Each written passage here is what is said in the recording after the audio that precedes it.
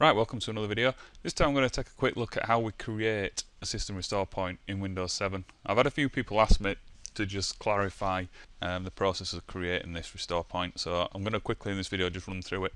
So, from the Windows 7 desktop, go down to Start, got control panel, and then we'll left click on System and Security, and then we want to left click on System, and down this left hand side you'll see System Protection. So if we click on that, you'll see that we're offered the system protection dialog box.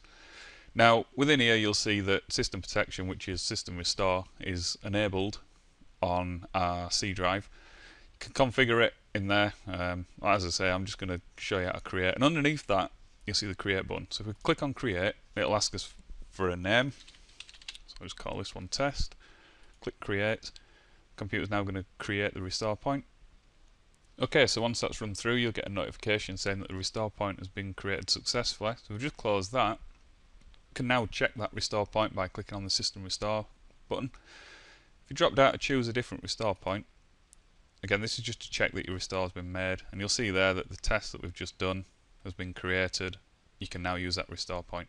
Okay, so there we go. That's a quick look at how we create a system restore point. point, and I'd like to thank you for watching.